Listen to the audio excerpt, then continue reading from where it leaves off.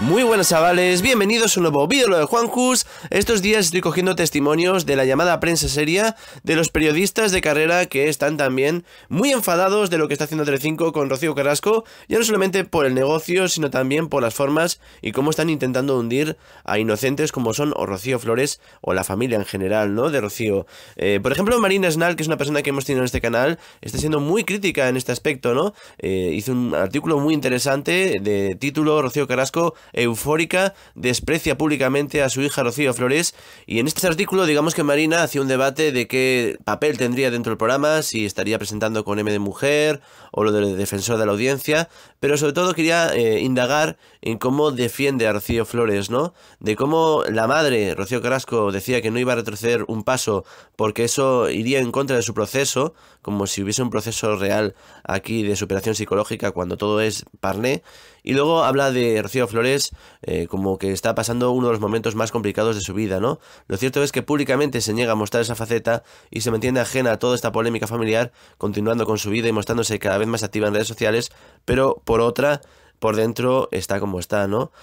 Hay que recordar también las frases de Rocío Flores en redes. Una de las últimas era así como abraza todo lo que te haga sentir que este mundo no es gris.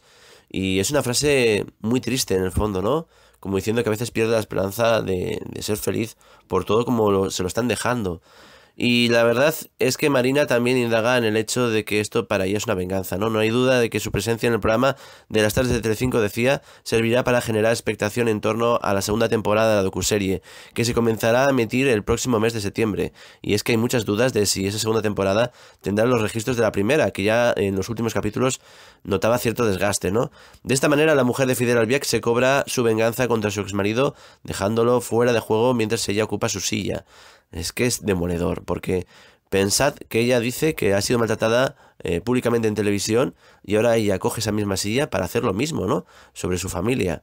Es que el testimonio de ella se cae a cachos. No me extraña que parte de la marea fucsia eh, se haya apeado del tren de Rocío porque han visto que esto es un engaño.